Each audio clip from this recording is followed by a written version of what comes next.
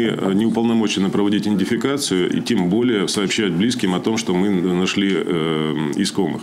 Почему? Потому что мы можем ошибиться, могут быть э, неправильные данные, и поэтому в, да, у нас нет таких полномочий. Это обязанность государства. В первую очередь, в частности, это органов судмедэкспертизы, который единственный орган официальный, который имеет э, полномочия и право и обязанность сделать э, такую, выполнить такую процедуру. Наша задача на месте собрать всю необходимую информацию, задокументировать и передать как раз судебным медицинским органам для того, чтобы они э, облегчить им работу процесса идентификации.